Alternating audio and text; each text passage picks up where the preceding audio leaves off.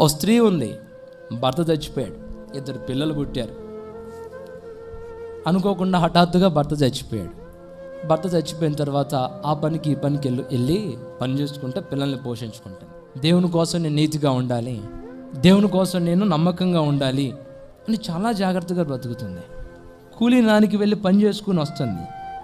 కూలి చేసుకుంటుంది కానీ ఆ చేసిన డబ్బు పిల్లలకి సరిపోవట్లే. స్కూల్ ఫీజులకి ఇంట్లో ఖర్చులకి సరిపోవట్లే. చాలా ఇబ్బంది పడుతుంది.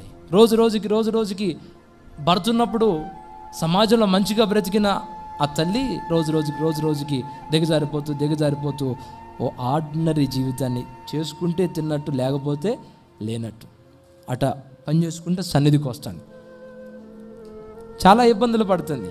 మరోవైపు ఆ మనిషి ఉంది. ఎవరు? తప్పుడు మార్గంలోకి వెళ్ళిపోయిన మనిషి. ఆమంటది మా దేవుడు దేవుడు అంటే మనకి ఎవరు అన్నం పెడతారు? నేను చెప్పిన మాటను నాకు తెలిసిన ఆయన ఇంకొక ఆయన ఉన్నాడు. ఆయన చెప్పినట్టుగా నువ్వు లోబడితే అస్సలు నువ్వు బయటికి పని కూడా వెళ్ళాల్సిన అవసరం లేదు. నీకు ఇంట్లో ఏది లేకుండా సకలం చూసుకుంటాడు. నేను చెప్పిన మాటను అని అంటే కొంతమంది లేదు లేదు నా దేవుడు నన్ను పోషించగలడు.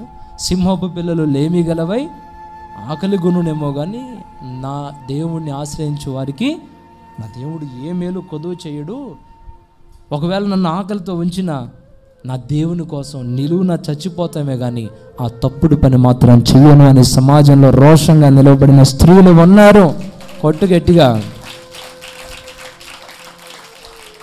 ఈ రోజుల్లో ఇందాక విధవరాళ్ళ గురించి నేను చెప్పాను. పలానామా తేడా.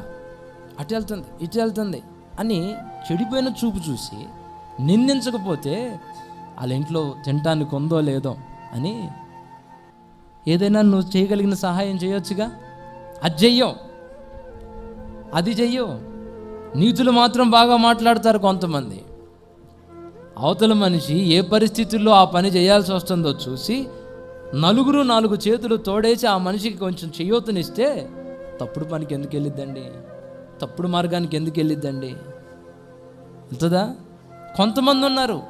శరీర ఇచ్చని అదుపు చేసుకోలేక తప్పుడు మార్గంలోకి వెళ్ళేవాళ్ళు. అందరూ అలా లేరండి.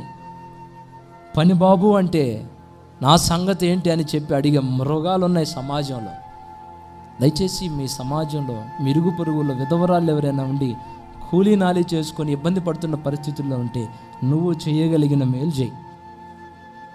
నీ కుటుంబంలో సమృద్ధిగా ఉందా? నువ్వు చేయగలిగిన మేలు అవతలలోకి చేయి. అలాంటి విధవరాళ్ళకు కనుక నువ్వు సహాయం చేస్తే నా దేవుడు పరలోకం నుండి నిన్ను ఆశీర్వదిస్తాడు. దీవిస్తాడు. ఆశీర్వదిస్తాడు. నేను చెప్పిన అలా రోషానికి నిలవబడిన వాళ్ళ గురించి దేవుడు ఏమంటున్నాడు తెలుసా? వాళ్ళు ధన్యులు అంటుంది లేఖనం.